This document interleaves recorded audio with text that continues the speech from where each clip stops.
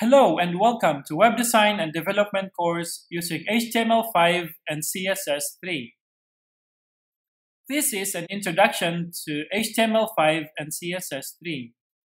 Here you'll see the source and reference for this video. I hope you'll be able to follow along this web design course. The prerequisites for this course are the following. Sublime Text Editor and a web browser. As you watch this video, please bear in mind about our ESLRs. And these are right thought, right communication, right attitude, right conduct, and right lifestyle. Now let's move on to our lesson.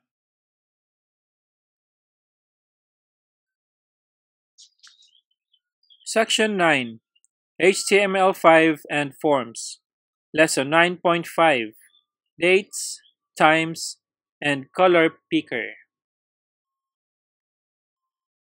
We can have a calendar appear when a user clicks inside of a text box. Being able to select dates and time is a terrific innovation in HTML5. The color picker. Another form element we can add is a color picker which is very useful in HTML5. For a complete list of codes and classwork in this lesson, please check Google Classroom.